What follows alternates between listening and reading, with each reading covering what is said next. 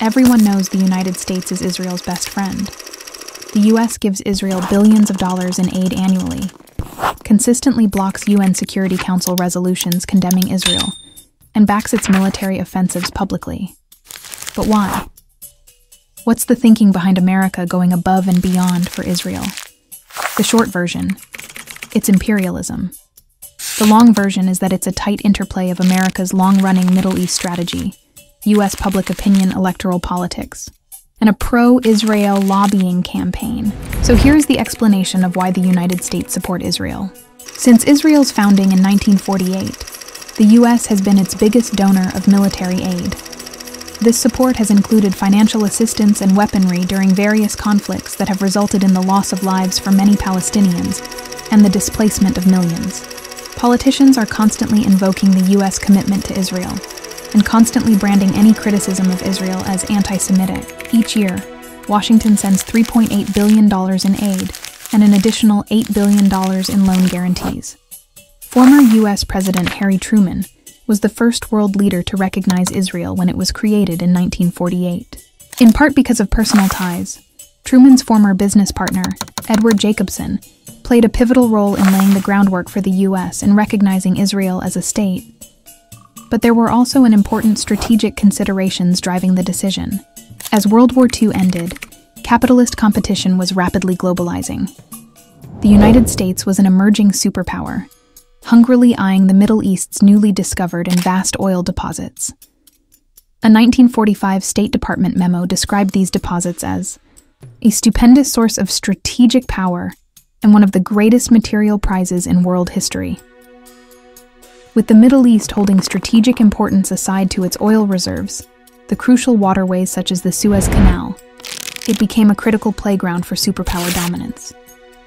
As the influence of European powers waned, the US stepped in as the primary Western power broker in the region. The US ruling class wanted that oil, but invasion and colonization wasn't an option. That would have required ongoing direct rule, which would have been fantastically difficult and expensive to support from thousands of miles away.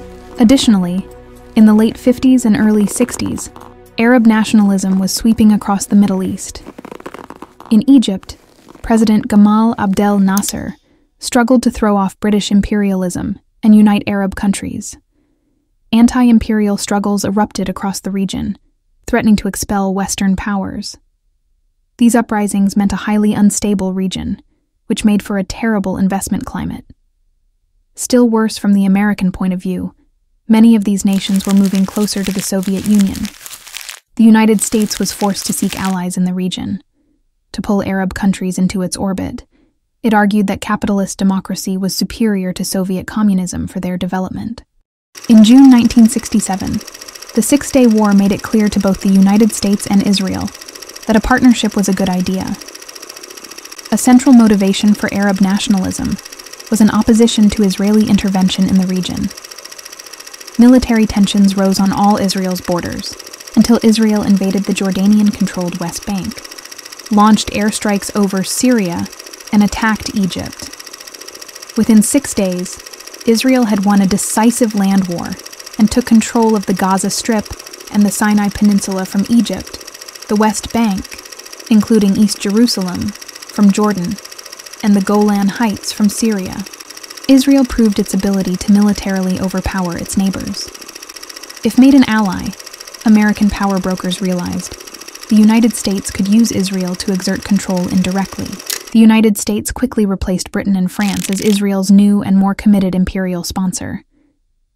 In the year before the Six Day War, Total U.S. aid to Israel was $23.7 million. In its aftermath, U.S. support skyrocketed to $106 million annually. In return, Washington got what was effectively a U.S. military outpost in what American military strategists determined was the most important region in the world. No price tag was too high for what the United States got out of the deal an indigenous intelligence service, troops, trained and familiar with the territory and ideologically committed, and all the weapons they would ever need there in the Middle East. There was no need to convince the US public for a military incursion or to deploy the US military thousands of miles away. A conservative estimate of the cost of the United States to handle all this itself is at least $125 billion. Getting all that for an initial outlay of 106 million per year was, for Washington, a bargain. It's been a windfall for U.S. defense corporations, too. Billions of dollars the United States sends to Israel wind up coming back to its military industry. For example, a 2010 agreement between the United States and Israel allows for Israel to use a total of $15.2 billion in military grants from the United States to buy F 35 fighters from Lockheed Martin.